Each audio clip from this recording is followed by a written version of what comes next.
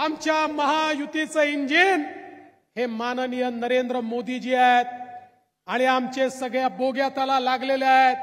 आणि ही अशी ट्रेन आहे जी विकासाची ट्रेन आहे ज्या ट्रेनमध्ये बसण्याकरता प्रत्येकाला जागा आहे. दीन दलित गोर गरीब आदिवासी शेतकरी शेतमजूर ओबीसी अल्पसंख्याक प्रत्येकाला बसवून मोदीजींच्या नेतृत्वात ही विकासाची ट्रेन पुढे जाते. पण राहुल गांधीची ट्रेन कशी आहे? त्या ठिकाणी केवळ इंजिनच आहे. त्या ठिकाणी डब्बे नाहीच आहे. आता मला सांगा इंजिनमध्ये कोणाला बसण्याची संधी असते का? इंजिनमध्ये केवळ ड्रायव्हर बसतो. बरं तिथे इंजिन एक नाही. राहुल गांधी म्हणतात मी इंजिन आहे. शरद पवार म्हणतात मी इंजिन आहे. उद्धव ठाकरे म्हणतात मी इंजिन आहे. ममता बॅनर्जी म्हणते मी इंजिन आहे. लालू प्रसाद यादव म्हणतात मी इंजिन आहे. बरं यांचे सगळे इंजिन विरुद्ध विरुद्ध दिशेला चाललेले आहेत. कोणी इंजिन दिल्लीकडे ओढतं तर कोणी बारामतीकडे ओढतं कोणी मुंबईकडे ओढतं तर कोणी कलकत्त्याकडे ओढतं. यांचं इंजिन जागेवरनं हलतही नाही डुलतही नाही बोलतही नाही चालतही नाही.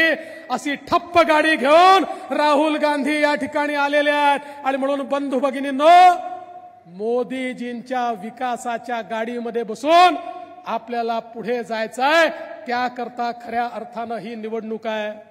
मी आज आपला फार वेळ घेणार नाहीये. आपल्याला सगळ्यांना अमित भाईंना ऐकायचंय. पण काल राहुल गांधीजी या ठिकाणी आले होते. एकतर राहुल गांधीजी काय बोलतात हे आम्हाला समजत नाही. कधी ते म्हणतात कधी ते म्हणतात इकडनं आलू टाकला तर तिकडनं सोनं निघते. कधी ते विचारतात पांडवांनी जीएसटी लावला होता का? आता अशा प्रश्नांची काय उत्तर द्यायची? आणि काल इथे येऊन राहुल गांधी ओबीसींच्या संदर्भात बोलले.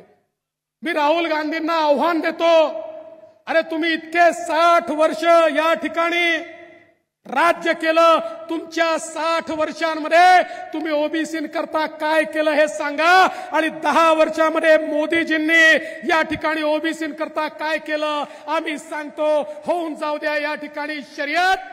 अरे तुमच्यापेक्षा दहा पट जास्त गोष्टी आम्ही केल्या. म्हणून आज या देशातला ओबीसी समाज आमच्या पाठीशी आहे. माननीय मोदीजींचं मंत्रिमंडळ देशाच्या स्वातंत्र्यानंतरच्या इतिहासात सर्वाधिक ओबीसी मंत्री असलेलं मंत्रिमंडळ आहे.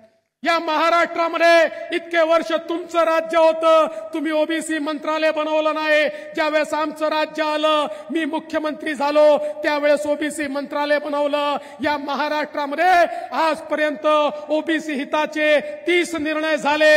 या तीस निर्णयापैकी अठ्ठावीस निर्णय हे माझ्या कार्यकाळामध्ये या ठिकाणी झाले आणि एकनाथ शिंदेजींच्या कार्यकाळामध्ये झाले. बंधू भगिनींनो ओबीसी करता हॉस्टेल असेल ओबीसी करता शिष्यवृत्ती असेल आमच्या ओबीसी विद्यार्थ्यांना हॉस्टेलमध्ये जागा मिळाली नाही तर स्वयंसारखी योजना त्या ठिकाणी असेल. त्यांच्या आमच्या ओबीसी विद्यार्थ्यांना त्या ठिकाणी स्कॉलरशिप असेल. आमच्या ओबीसी विद्यार्थ्यांना त्या ठिकाणी पीएचडी करण्याकरता एम फिल करण्याकरता शिष्यवृत्ती असेल. आमच्या ओबीसी विद्यार्थ्यांकरता महाज्योती सारखा एक महामंडळ असेल. आमच्या ओबीसी विद्यार्थ्यांना कर्ज मिळावं म्हणून त्या ठिकाणी व्यवस्था असेल. ही प्रत्येक गोष्ट महायुतीच्या सरकारने केली. इतके वर्षात तुम्ही कधी ओबीसीकडे बघितलं देखील नाही. बंधू भगिनींनो हे लोक संविधानाच्या गोष्टी करतात. पण या संविधानामध्ये पहिल्यांदा ओबीसी आयोगाला संवैधानिक दर्जा देण्याचं काम हे देशाचे प्रधानमंत्री माननीय मोदीजींनी केलं. नाहीतर संविधानामध्ये ओबीसीला जागा कुठे होती?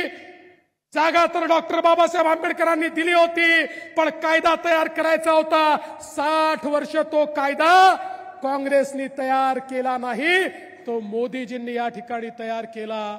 आणि म्हणून बंधू भगिनींनो हे कोणाचेच नाही आहे आज आपण पाहू शकतो दीन दलित गोर गरीब आदिवासी शेतकरी शेतमजूर प्रत्येकाच्या जीवनामध्ये परिवर्तन करण्याचं काम हे मोदीजींच्या नेतृत्वात चाललेलं आहे.